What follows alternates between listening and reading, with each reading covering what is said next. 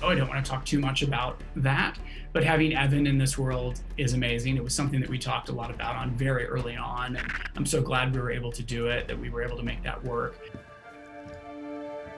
Long lost bro get to squeeze his stinking sister to death or what? She recast Pietro? We're on a cliffhanger right now. Can you talk to me about the significance of Agatha's talk of chaos magic, calling Wanda the Scarlet Witch? That makes you the Scarlet Witch. Like, what is the significance of this? What can you tell us? Well, Wanda's had power for a long time, but it's never been defined. And there is magic in the MCU, but we haven't talked about witches before. Um, and so episode eight really is about talking about how there are witches in this world. Agatha's one of them, and she is here to sort of help uh, Wanda figure out who she really is. And so episode eight was a lot about looking at Wanda's past, but it's also a lot about destiny and about what's to come. Who's been messing up everything? It's been Agatha all along. We have to talk about Agatha all along because I, I did not expect there to be a certified bop in this show. She's insidious. Well, hats off to the Lopez's because Yes. they're geniuses.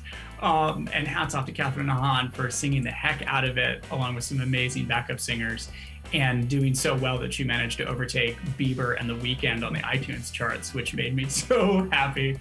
Um, but it, it was a blast to put that together. I mean, the we were going along, and in every era, we knew we would have an Agatha all along moment. And so there was a lot of discussion about what those moments would be and crafting them through storyboards and sort of figuring it out. And then we would be shooting something in the 50s and have to stop and kind of do that Agatha all along moment, which would mean turning to a much more cinematic style, breaking what we were doing, and kind of having fun with Kathryn Hahn for 45 minutes to an hour for that section. And I loved every time we did that. It was always fun. We were always coming up with new ideas. Um, I think my favorite was coming up with the picnic right before we did that, where we pull back from Pietro and she's, you know, there's Hahn having fun with the grapes and the wine. And um, I, the poor prop guy, Elliot, had to make that in like five minutes because he had no warning. It's been Agatha. And I killed Sparky too. those things were really fun and and um, and help support. I think was what a very catchy tune, very catchy tune. That's like one of the links that people have kind of been making the whole they're like, is Agnes Agatha? Like, could this be her? What was the earliest tell, do you think, that Agnes was Agatha? Because there's something in episode one that people might have missed or something like that. Well, you know, we we've had this cameo there, the brooch, uh, pretty much the whole time. When you announce a character, but you call her just the nosy neighbor, and it's Kathryn Hahn, you're basically inviting uh, the comic fans to go on a deep dive and see what they can figure out. So speculation has run rampant around uh, her role for a long time. So we knew that we would eventually be making this big reveal. And for some, they might be slightly ahead of it. And that's okay as long as the reveal is a whole lot of fun, which I think the Lopez's um, delivered um, big time.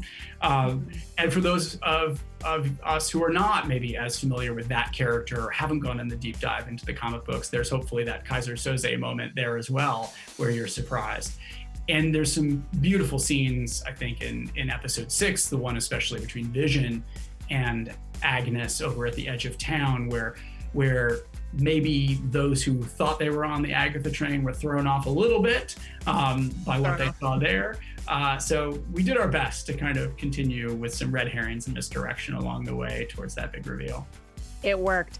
Uh, so we find out that Agatha was the one that like formed like the Evan Peters version of Pietro. She calls him Fietro, which I love. I got close with fake Pietro. Pietro. Um, can we talk about this conversation of bringing Evan Peters into the show in this form? Yeah, I mean, she Agatha does talk about how she was manipulating him and controlling his, uh, you know, pulling the strings.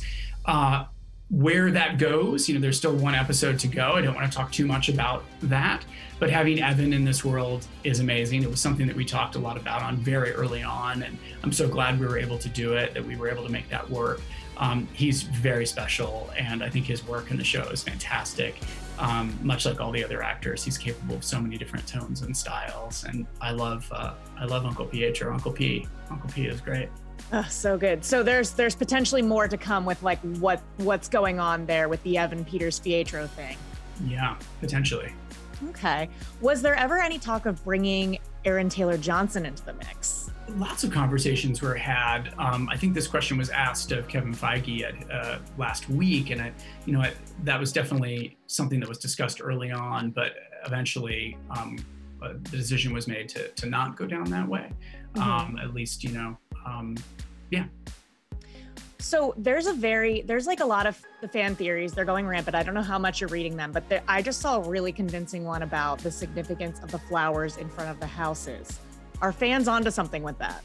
You know, I have to say I'm so taken by the level of engagement with the fans. I we built this show with so much love and passion and attention to detail, and that we're seeing it come back to us with so much love and passion from the fans. And we share these memes and TikTok videos and everything that's coming out uh, among the cast and crew, and we're just so um, kind of blown away by the, the the level of engagement and also the the amazing creative spirit that's out there too.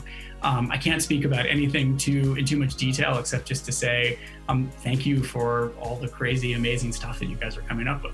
I was gonna say not a no. so we see uh, Wanda has this like vision with the Mind Stone, vision pun intended, uh, and we see the fully formed like Scarlet Witch look, and it's immaculate. Can you explain what's happening here? Like I said before, I mean, episode eight is a really interesting episode because it is about going into Wanda's past. So it is about exploring the grief, the loss, the trauma. It's also about exploring love, like, you know, the deep love that she has for Vision, for her, her parents, for her brother. Um, all of that is in that episode as well. But what's past is prologue, right? There Mhm. are also moments of, of, of destiny implied, that all of this is a journey that she's been on that's been leading to something. When that Mind Stone comes to her, it's coming to her for a reason.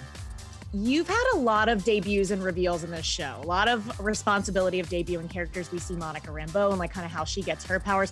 Which one felt like the biggest responsibility?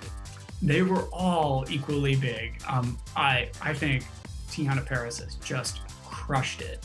And her story is a parallel story with Wanda's. She's she's dealing with the loss of her mother. She's coming back into a very sort of disoriented new world where she's returned from being gone. Um, she's trying to put the pieces of her life back together. And so those stories are absolutely designed to be parallel stories. And it's why those two characters feel some sort of affinity uh, for each other. And it's why perhaps Wanda brings um, Monica into the world to begin with. Creating um, sort of the new version of Monica when she moves through that hex was a really uh, exciting moment for us, um, for all of us. Um, Teyonah just crushes it, and she had to crush it again and again and again in a million different outfits as we put that together. Um, this idea that she was, you know, being taken apart uh, and remade inside this hex, this world, was a great moment for us. I think really fun visually, but they've all been really fun. I mean, even just opening the door on on Uncle P at the end of episode five, you know, as simple as that is, didn't didn't involve any crazy visual effects. It's still one of my favorite shots. Who's a popsicle?